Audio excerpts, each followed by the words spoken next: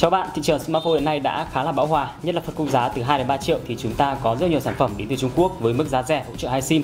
Ở bên cạnh đó thì nếu như bạn nào mà chúng ta ưa thích một thương hiệu lớn, thích một chiếc máy mà có chất lượng cao và đặc biệt cái sự ổn định mượt mà thì có lẽ Apple với dòng sản phẩm iPhone là những chiếc máy không thể bỏ qua. Hiện nay những dòng sản phẩm iPhone đã phổ cập ở mọi phân khúc giá khác nhau và với mức giá từ 2 đến 3 triệu thì chúng ta có sự trở lại của chiếc iPhone 5s.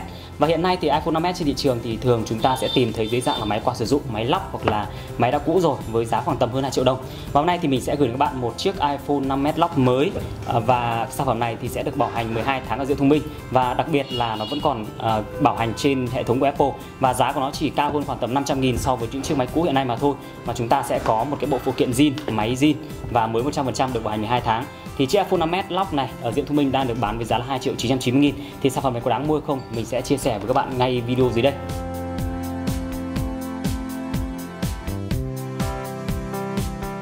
À, trên tay mình thì chính là chiếc iPhone 5s uh, lock và đây là phiên bản màu xám. Thì sản phẩm này nó sẽ đến từ thị trường Mỹ với mã LLCA ở đây phiên bản chúng ta có là 16 GB và chiếc máy này thì sẽ là một phiên bản màu xám với giá là 2 triệu 990 nghìn. Và mình lưu ý các bạn là bộ phụ kiện đi kèm của chiếc iPhone 5s lock mới này sẽ là bộ phụ kiện zin. Chúng ta có một chiếc cáp Lightning ờ, một củ sạc và một chiếc tai nghe AirPods. Và với bộ phụ kiện zin này thì các bạn mua lẻ bên ngoài thì cái giá nó cũng gần một triệu rồi.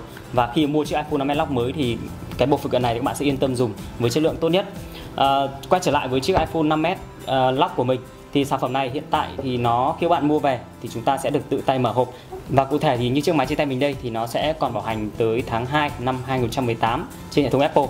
Và chiếc máy này thì nó sẽ là zin 100% khi bạn kiểm tra những cái phần như là À, khung viền này, không hề có một chút xước sát nào cả. Và các bạn sẽ, chúng ta sẽ bóc cái phần siêu trước và siêu sau này ra. Chất lượng thì của nó hoàn toàn khác biệt so với chiếc máy cũ trên thị trường. Và hiện tại mà để tìm được một chiếc iPhone 5s mà mới trên thị trường hiện nay thì rất là hiếm, chủ yếu là những sản phẩm mà đã qua sử dụng. Về chất lượng thì có lẽ nó không đảm bảo được.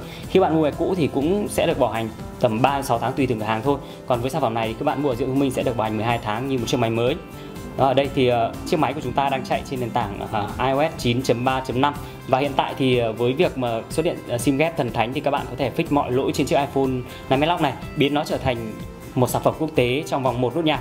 Đó như vậy với mức giá 2 triệu 990 nghìn thì nó chỉ cao hơn khoảng 500 nghìn so với những chiếc máy lọc cũ. Nhưng các bạn sẽ có thứ nhất là cái gì? Chúng ta sẽ được một bộ phụ kiện zin với chất lượng tốt và bộ phụ kiện này thì rất là đáng giá. Nó sẽ rơi khoảng tầm 1 triệu đồng các bạn mua lẻ và thứ hai, chúng ta sẽ có một sản phẩm chất lượng mới 100% khác biệt hoàn toàn so với máy cũ. Nó các bạn thì không hề thấy một xước sát gì cả. Và tất cả những tính năng đều là mới nguyên đó, các bạn như ở đây, các bạn thấy thì mình đã lắp cái sim ghép thần thánh vào. Thì các bạn có thể sử dụng tất cả các tính năng, có thể dùng được 4G tất cả các lỗi như kiểm tra tài khoản sau 101 thăng hay là lỗi đầu số cộng 84 iMessage FaceTime thì đã đều được fix hoàn toàn qua cái sim ghép. Ờ, các bạn chỉ mất một cái thao tác rất đơn giản đó là lắp sim ghép và kích hoạt lần đầu tiên. Thì tất cả những lần sau thì mọi những cái lỗi này nó sẽ được khắc phục hoàn toàn và các bạn có thể sử dụng như một chiếc máy quốc tế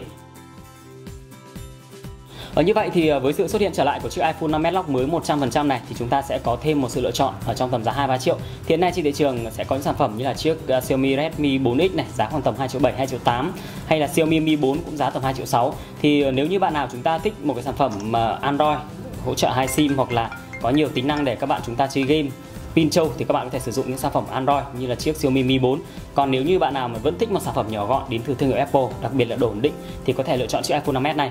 Và mình xin lưu ý là hiện nay thì gần như những sản phẩm mới 100% như thế này đã không còn trên thị trường nữa. Vì vậy đây là những sản phẩm rất là hiếm và số lượng có hạn. Vì vậy các bạn có thể qua ngay những showroom của Diệu Thông minh trên toàn quốc để mua chiếc iPhone 5s Lock này.